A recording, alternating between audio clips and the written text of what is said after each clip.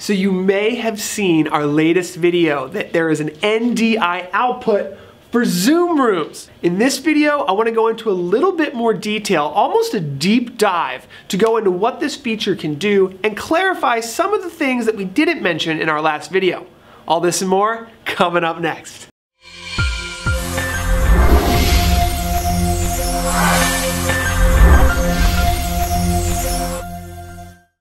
So by the way, it's never our intention to be misleading with these videos, and our last video left out one important detail about the NDI output integration with Zoom, which we're gonna clarify, and it also gives us a great chance to do a deep dive here. We're just about to launch the unofficial guide to NDI where we're gonna have over 20 videos on NDI, so it might be a good time for you to hit the subscribe button. It helps us know what you guys are interested in, so if you wanna see more videos about Zoom and NDI, let us know. So first of all, a Zoom Room is a dedicated appliance from Zoom and it costs $50 a month. It is not the same as the Zoom Meeting Client, which I know a lot of us are waiting for NDI output capabilities natively in Zoom. Hopefully that will happen soon, especially since Microsoft Teams already supports it. So I'm sure Zoom is working down that path. If you wanna set up a Zoom room, you might wanna get like a Mac Mini or we have like a little Windows Intel NUC computer, and then you pair that with a touchscreen controller. You could use a Kindle controller, this is a Windows tablet, or you can even use your smartphone, which is what I'm gonna use now. The latest thing you also need is you need to make sure you're running 5.7.0 or later, or you will not see the NDI features come up. Now, when I hit Meet on my smartphone touchscreen controller here, you're gonna see that I can pretty much control the entire Zoom meeting experience from my smartphone, which is great. Now, when I hit change view here, I get my NDI output options. Now, one of the things I wanted to make sure that I clarify in this video is you basically have three NDI outputs. Each of them can basically be pinned to a participant or one of them can have active speaker setup. So if you choose active speaker, whoever is speaking will be on that live NDI output. Then these other two outputs can be pinned to a specific participant. So speaker view, thumbnail, and gallery view, those, what those do is those actually change the view in the Zoom room.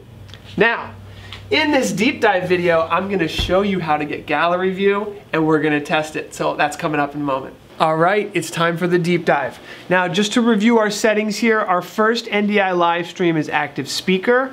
Our second is Lindsay Pope, and our third is Test Pro Testo. I love that you can see the pictures and everything of the people that are joining your NDI streams. That's awesome. Uh, basically what we're gonna do is we have Task Manager open and there's a way to monitor ethernet connectivity on your computer. So that way we can see, you know, what is the bit rate? How much bandwidth are we using to connect to these NDI streams coming from Zoom? So I'm gonna use vMix again, but I, I might use OBS in an upcoming tutorial to show. This, this will work with any NDI software that works here. So let's bring in our first channel of NDI video here.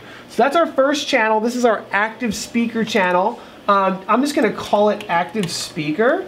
Um, just so I can kind of like name it for my own sake here. So that's my active speaker, just so I know that's gonna change. That's not pinned to a specific person in your Zoom meeting. Now, when you add NDI sources, you are connecting to local area network bandwidth.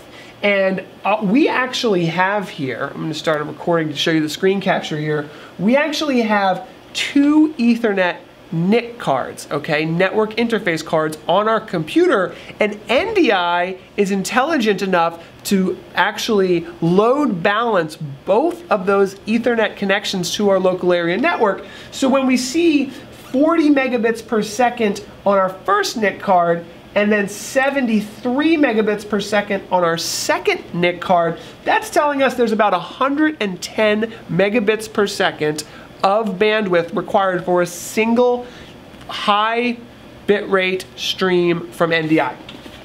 Now, that is what we're getting for our first stream. Now we're gonna add a second stream here.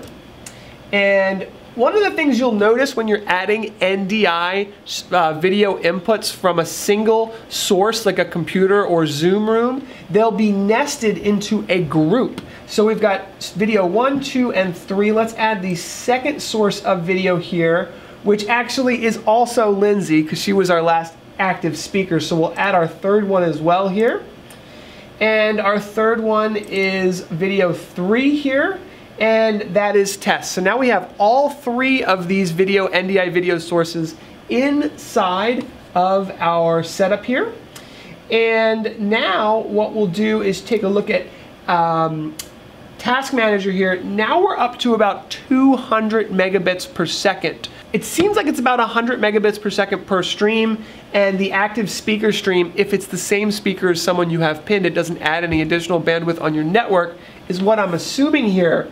So we've got about 200 megabits per second. And then the thing we wanted to do was talk about how to get NDI video in to the um, system, which we'll show you in a minute. And then I wanted to capture a gallery view of the entire setup using NDI Studio Monitor, or sorry, NDI uh, Screen Capture.